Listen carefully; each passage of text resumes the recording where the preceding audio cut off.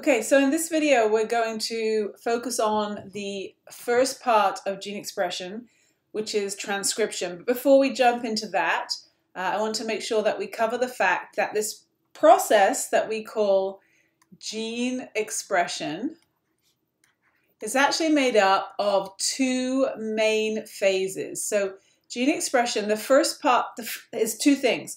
The first part is called transcription, and that's what we're going to be going over in this video, transcription.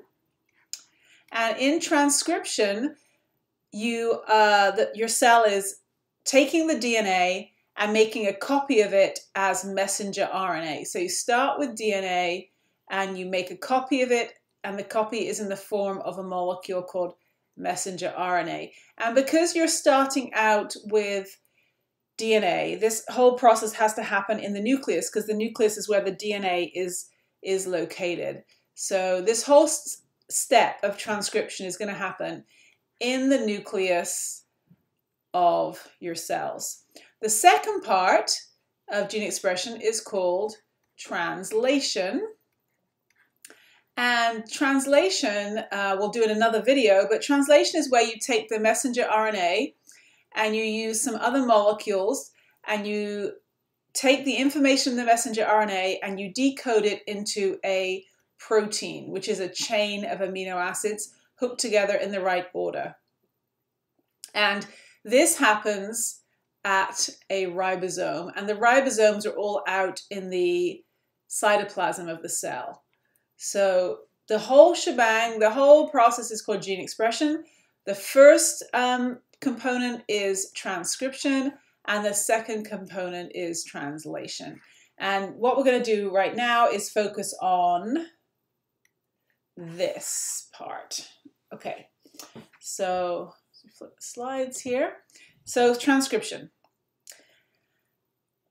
Because transcription is the process by which we go from a DNA and we copy it into a piece of mRNA, this is where this is going to happen is in the cell's nucleus because that's where the DNA is. And you got to go to where it is. The DNA can't get out of there.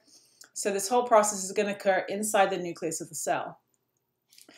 Um, on this diagram, the purple that you see here, this is the DNA.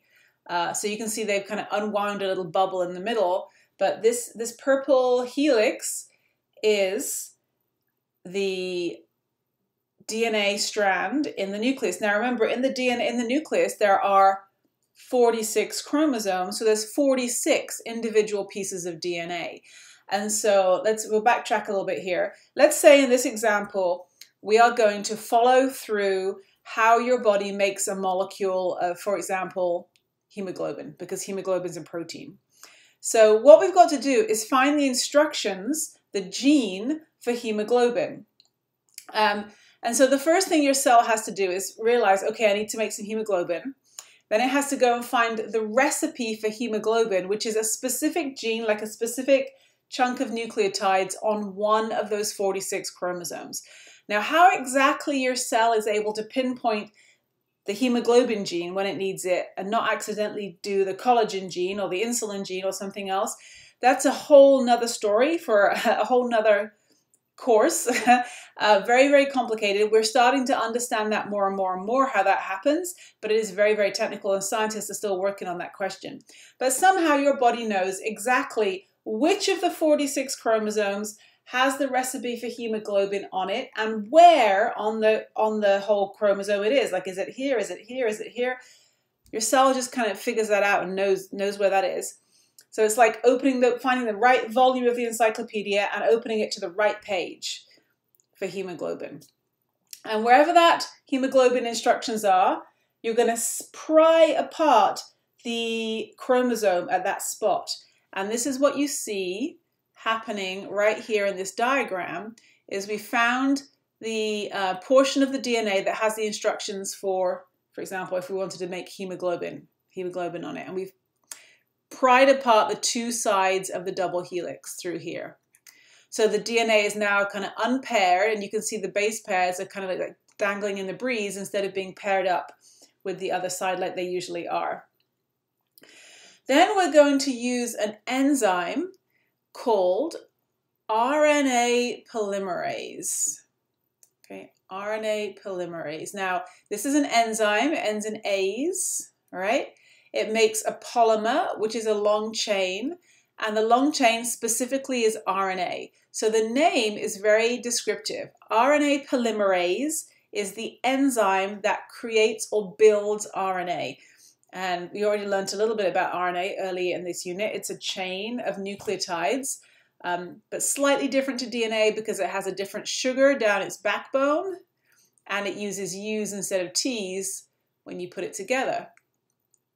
And so what this RNA polymerase enzyme is able to do is once the part of the uh, chromosome has been located where the instructions that we need are, the RNA polymerase is able to um, attach to the helix, pry it apart, and then start to build RNA. And the RNA here has the dark blue back, uh, backbone and make a piece of RNA that lines up with the DNA that's in the chromosome. So here we got the purple piece that I'm highlighting right now is the DNA, and you can see it's got A, G, C, T, T, C, right? It keeps going.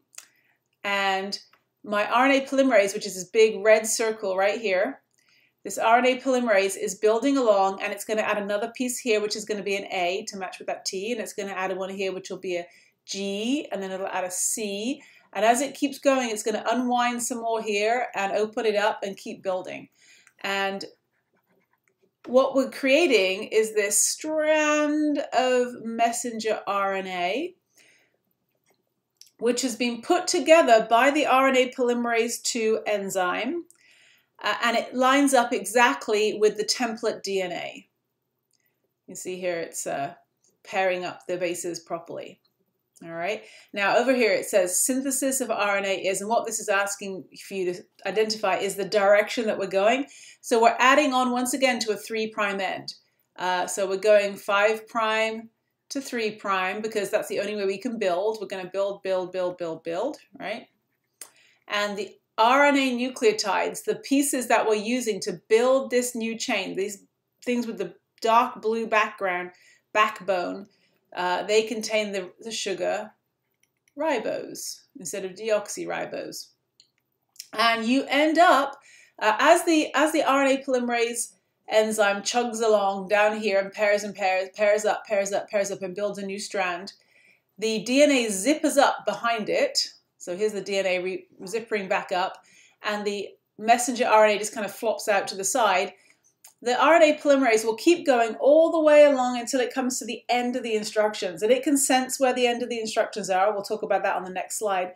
And then the once it's got past the end of the instructions, the enzyme will fall off. Everything, the DNA will zip back up, and then you'll have a separate piece of RNA made on the side. But the piece of RNA that you just made is matched up to the DNA that you copied it from. All right, so I'm going to skip to the next slide here. Um, so once again, we've got the DNA, and on here it's shown as these train tracks in the, in the blue.